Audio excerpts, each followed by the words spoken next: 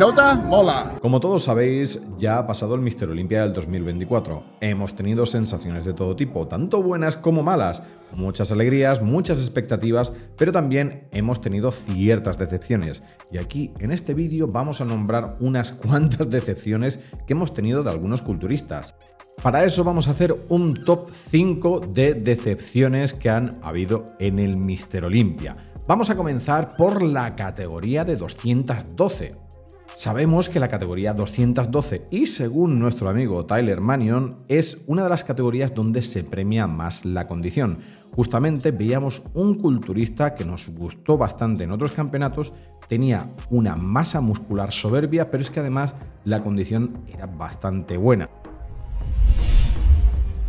Estoy hablando de Esteban Fukene. Esteban Fukene nos trajo un pack completo rocoso con unas piernas que son una auténtica locura y pensábamos que en este Mister Olympia iba a tener un mejor papel. Pero por razones que yo desconozco y no sabemos, no se ha presentado nada en punto. Y este culturista, la verdad que estaba bastante bien. ¿Y podía haber entrado en un posible top 3?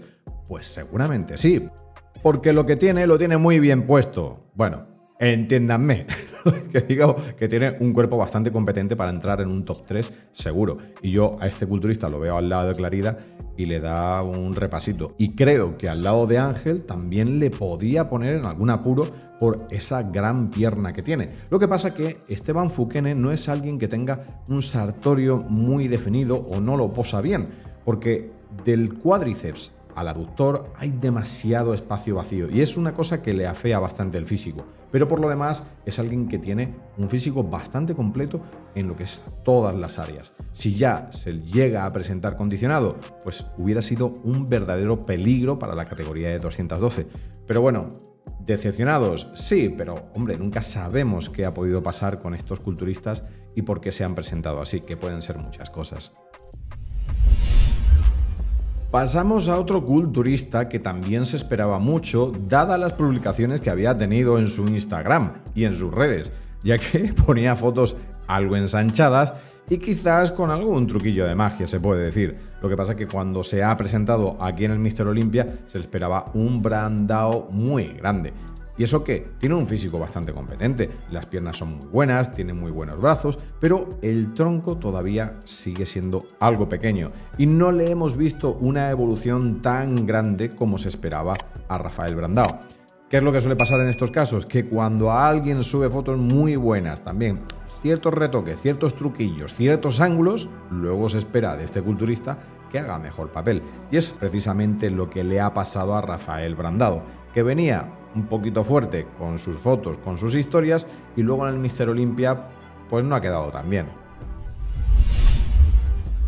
En el top 3 de las decepciones de este Mister Olympia entraría Wesley Vissers. Pero esta es, digamos, una excepción agridulce. Y os explico el por qué. Porque Wesley Vissers se ha presentado bien. Tenía buen tamaño, tenía buena condición, el posing, ya sabéis que yo soy muy especialito con el posing, pero tiene poses francamente buenas y que sí destaca por esa línea clásica que otros competidores no tienen, además de una envergadura brutal. Es muy alto y también tiene una gran anchura clavicular.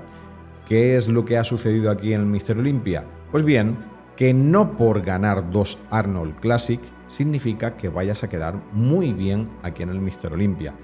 El criterio del Arnold Classic, a pesar de que haya ciertos jueces, no quiere decir que en el Mister Olympia vaya a pasar lo mismo, porque yo creo que ahí hay un cierto estándar y una cierta influencia de Arnold. Pero también hay que comentar una cosa en el Arnold Classic, que en el Prejudging Ramondino no estaba bien, no se ha presentado bien.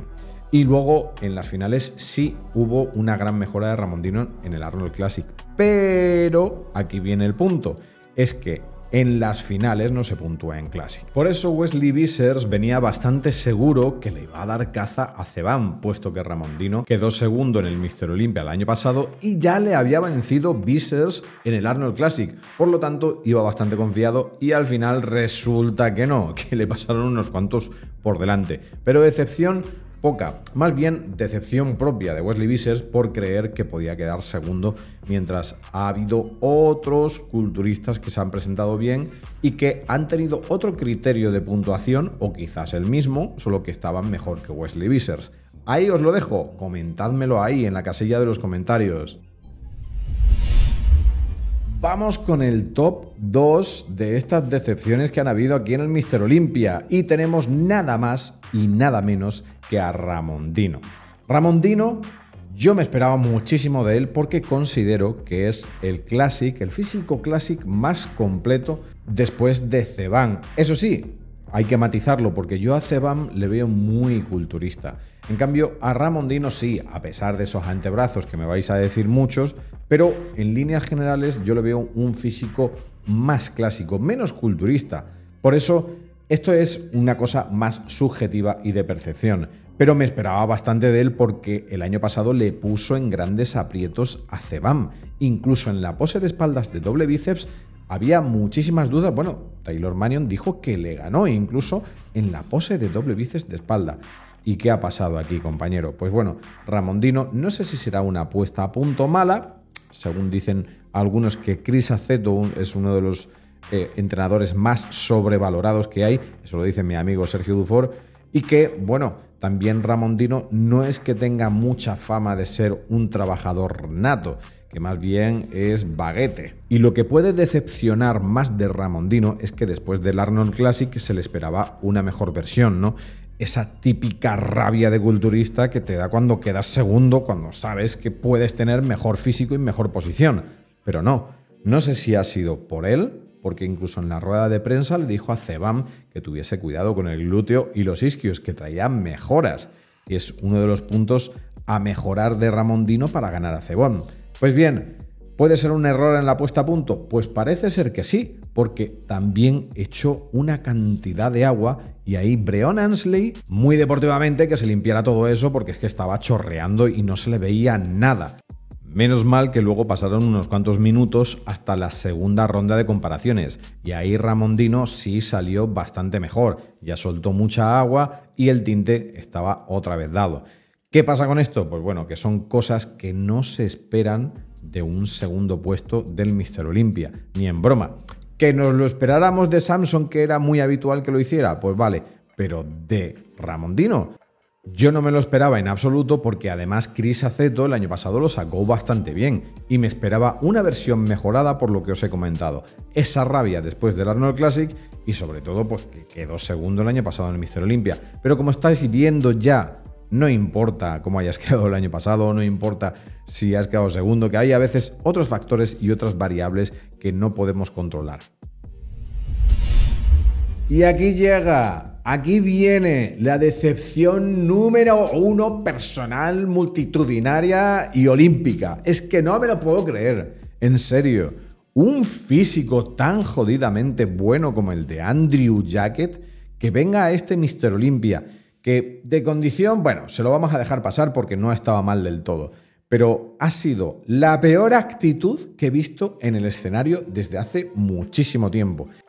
Y hay veces que no sé qué se les pasa por la cabeza a los culturistas.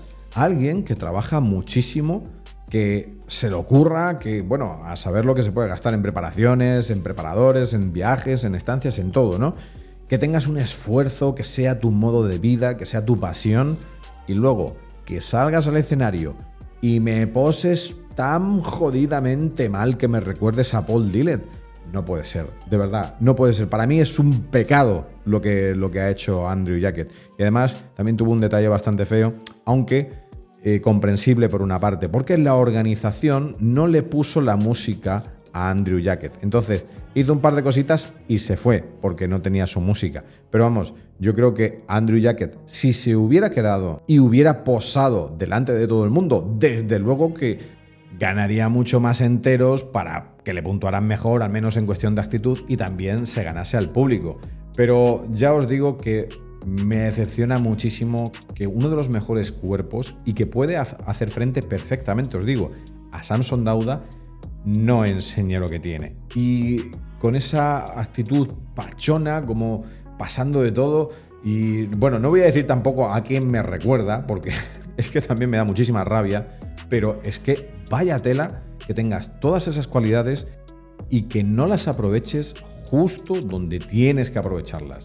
Es que manda cojones, por eso me da una rabia y una impotencia de decir y espabilarle a este culturista, señor, tío, que en un Mister Olimpia puedes quedar mucho más arriba si te espabilas. Pero no, Andrew Jacket pues nos ha vuelto a hacer otra yaqueada y en este Mister Olimpia a mí personalmente ha sido el que más me ha decepcionado, pero de largo, vamos. Pero es que no solo por esta actitud, sino también porque no aguantaba mucho la pose, porque había poses de perfil que eran infames, a veces se le olvidaba apretar la espalda, otras veces se le olvidaba sacar el dorsal yo, de verdad, no lo entiendo con el buen físico que tiene este tío. Por eso, para mí, es y la si mayor necesitas algo de suplementación deportiva, vete a másmusculo.com, pon mi código, el nota, que te hará un descuento. A mí me darán una comisión y me ayudarás, tío, a ganarme la vida. No tengo tropecientos mil seguidores. No tengo un físico de escándalo.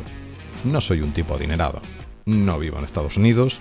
Tampoco soy un Adonis. Solo soy el nota. Y sé muy bien de lo que hablo.